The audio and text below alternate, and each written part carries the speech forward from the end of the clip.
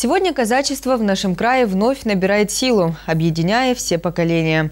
Большое внимание в Славянском районе уделяется военно-патриотическому воспитанию молодежи. В духе казачьих традиций воспитывают детей наставники. На прошлой неделе прошел большой казачий праздник в школе номер 46 хутора Нищедимовского.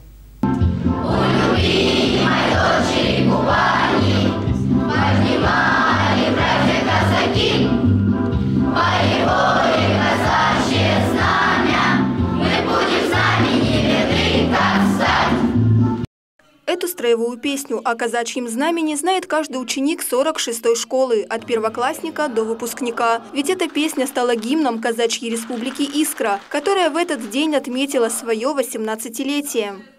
За это время много, 18 будем говорить, выпусков вышло из этой уже казачьей школы. Многим она дала путевку в жизнь.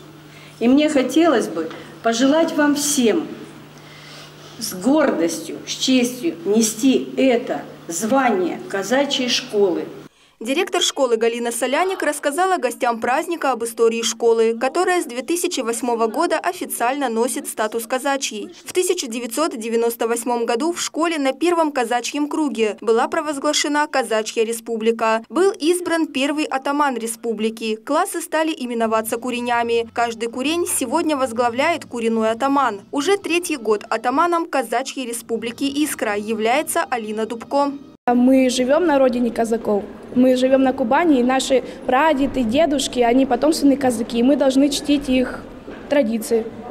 Каждый ученик 46-й школы с гордостью говорит о том, что он учится именно в казачьей школе. Здесь свои традиции, свой уклад и устои. Они гордо называют себя наследниками былой казачьей славы. Еще издревле повелось, что именно в казачьих семьях вопросам патриотизма, любви к Отечеству, готовности положить за него жизнь свою уделялось особенно большое внимание. Вот и казачья семья Республики Искра унаследовала эти традиции. После торжественной линейки ученики и гости школы были приглашены на казачью ярмарку и праздничный концерт, подготовленный ребятами.